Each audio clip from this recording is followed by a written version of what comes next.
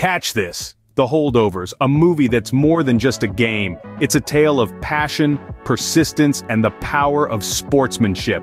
Picture this, a group of high school basketball misfits, left behind during the holiday break, fighting to prove their worth on the court. Guided by an unlikely coach, they journey from being the underdogs to the team everyone's talking about. They transform from holdovers to heroes. This isn't just about winning, it's about resilience, unity, and the spirit of the game. Remember, in the world of sports, you're never a loser until you quit trying. So gear up to witness The Holdovers, a movie that'll inspire you to never stop playing your game, no matter the odds. End of round one.